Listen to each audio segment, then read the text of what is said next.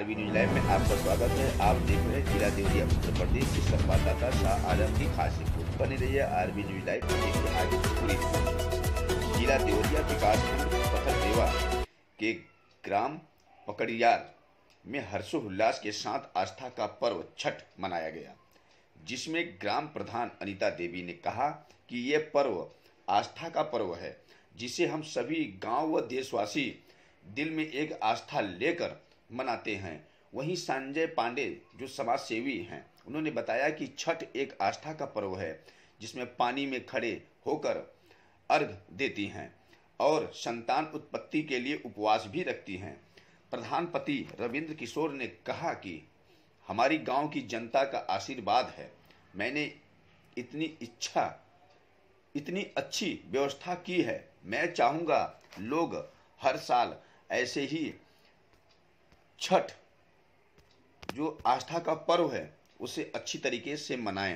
बने रहिए RB news live पर, देखिए आगे नमस्कार, आरबी न्यूज़ लाइव आपका स्वागत है। आज हम उत्तर प्रदेश के जनपद देवरिया के ग्राम पकड़ियार में आए हुए हैं, जो कि पथरदेवा ब्लॉक के अंतर्गत आता है और आज आस्था का पर्व, छठ पूजा है, जिसको लेकर के यहाँ देखिए बड़ी भीड़ लगी हुई है।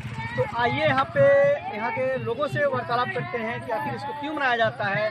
सीधे आपको लिए चलते हैं पकड़ियार गाँव में लोगों के पास।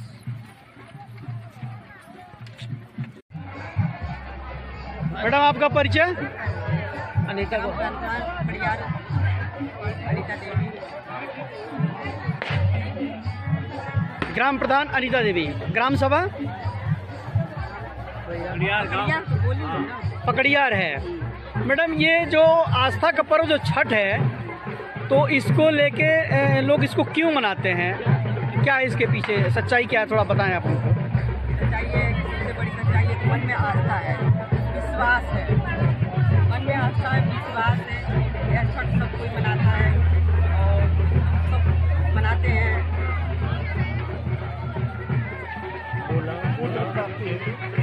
प्राप्ति।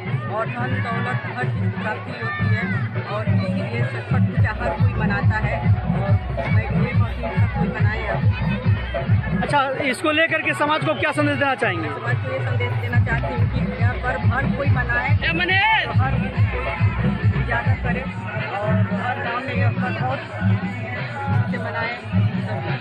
जब से बात करेंगे धन्यवाद आपका। मैडम आप इसके प्रति क्या आस्था रखती हैं? आप अपने व्यक्तिगत बताएँ।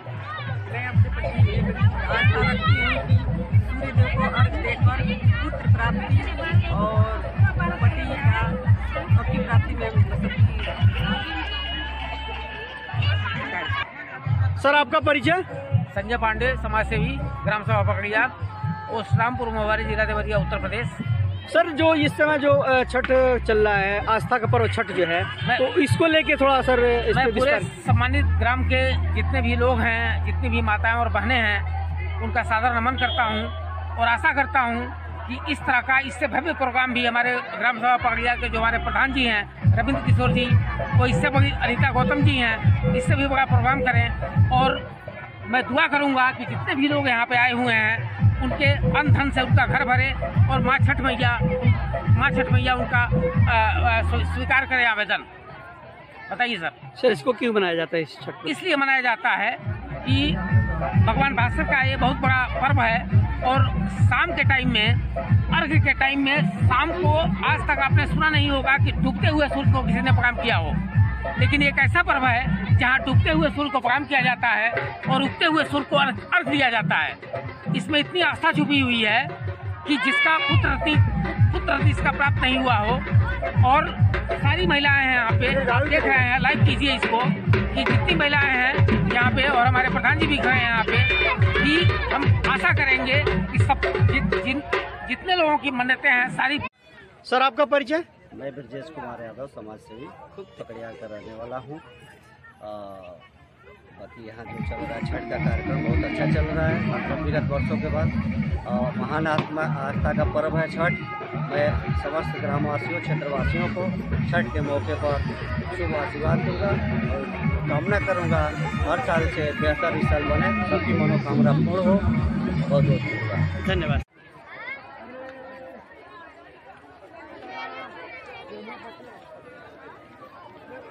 फ़ोन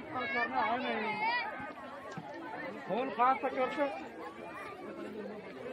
आवाज़ नहीं आ रहा है। ये देखो सब कुछ अरे हो भी है। और मैंने सोचा नहीं था मैंने चले गए पैसा भेज नहीं पाया हाँ। हाँ। कब तक बोला हाँ।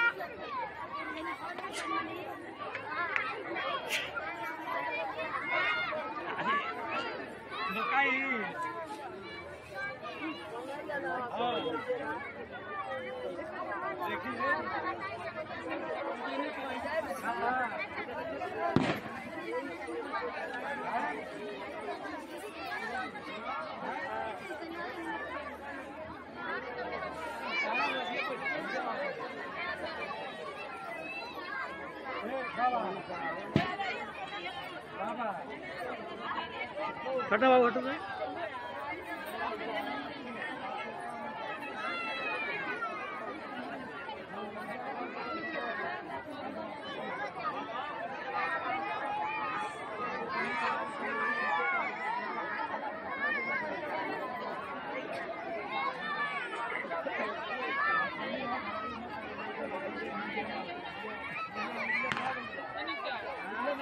제가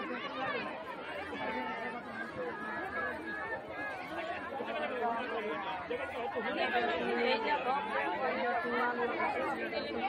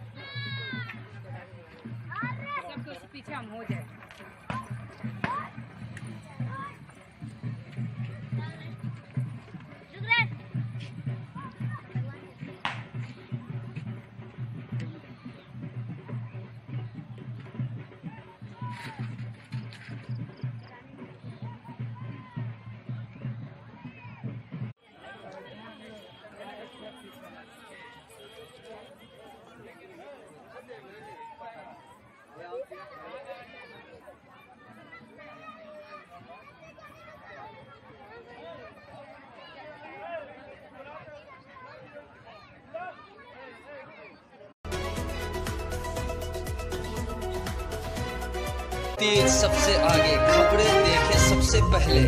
आपको करे हर खबर से रूबरू। आगे ऐसे और खबरें देखने के लिए R B news dot live को सब्सक्राइब करें। हमारे चैनल के साथ बने रहें। बदलेगा खबरों का अंदाज, बदलेगा खबरों का मिजाज, बुलंद होगी। जनता की आवाज़, आपका सरोकार असल मुद्दों की पुकार, पत्रकारिता की धार, खेत, खलियान, महिलाओं का सम्मान, देश के नौजवान, जनता मांगे समाधान, सड़क पर घमासान, भ्रष्टाचार से परेशान।